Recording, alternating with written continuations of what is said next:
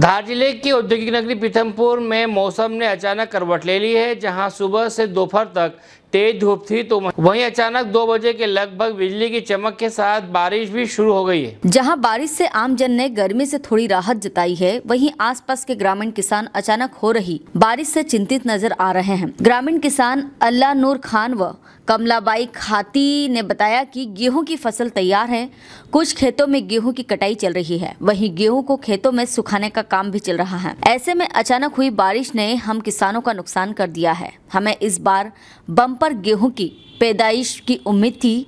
इस बेमौसम बारिश ने हम किसानों को बेमौत मारने का काम कर रही है। वहीं बारिश से चिंतित कमलाबाई खाती अपने खेत की मेड़ पर बैठी भगवान से बारिश बंद करने की प्रार्थना करती नज़र आई। पीथमपुर से संजय सोनगरा की रिपोर्ट।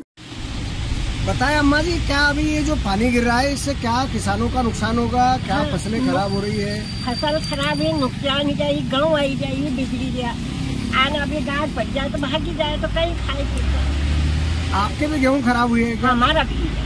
कितना गेहूँ का नुकसान हुआ होगा आपका? अपना हमारा अभी लीला ही आए आ नहीं कटा हुआ पड़ा। तो कटा हुआ जो पड़ा है उसमें क्या नुकसान होगा? आधे नुकसान। हो गए। क्या नाम है आपका? कमला। जी बताएँ ये वर्षा हो रही है वर्षा के कारण किसानों का क्या नुकसान हो सकता है? गेहूँ का नुकसान हो सकता है गेहूँ का कलर खराब हो जाएगा अगर ज़्यादा पानी गिर गया तो गेहूँ आड़े पड़ जाएँगे। और बहुत जगह हो गया खराब नुकसान। कितना नुकसान होने की संभावनाएँ लग रही है ऐसा कुछ भी नहीं कह सकते आ जाए तो आप आधा हो जाए पचास परसेंट में नुकसान हो सकता है। हाँ कई जगह पूरा पूरा नुकसान हो गया है गेहूँ काटने जैसे ही नहीं बचे।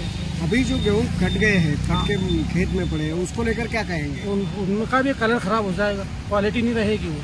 क्वालिटी खत्म हो जाएगी। गेहूँ से खाने उस गेहूँ में कुछ खाने में भी फ़र्क पड़ सकता हाँ है? हाँ खाने में स्वाद नहीं आएगा उसको। आपका नाम? अल्लाह